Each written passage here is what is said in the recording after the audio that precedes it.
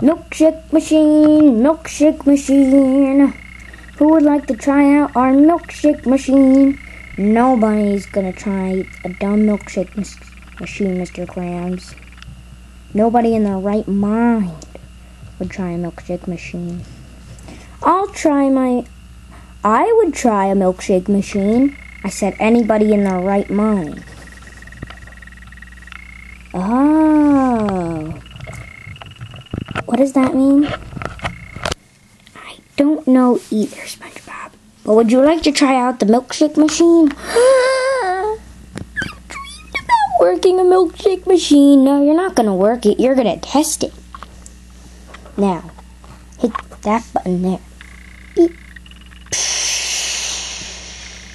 Now drink it.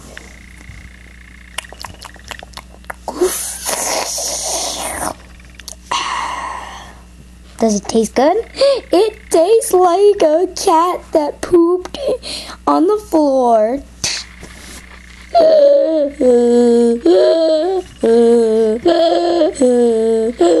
Somebody call a hot doctor.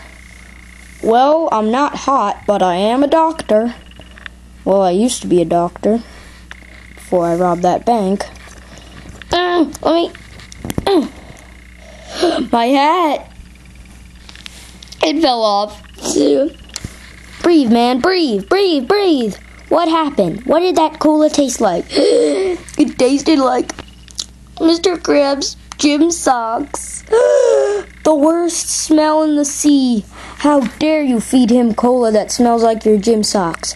Everybody knows when you go to gym, all your socks smell like foot. Ew, gross. yeah, gross. We need to get this guy. We need to get this guy to the hospital right now. Come on, boy. It wasn't my fault. I bought I bought it from a man wearing a black coat. A man wearing the black coat. That was the Kelp Bandit, who who makes soda machines and then sells them to people. But really, the soda machines have poison in them. Oh.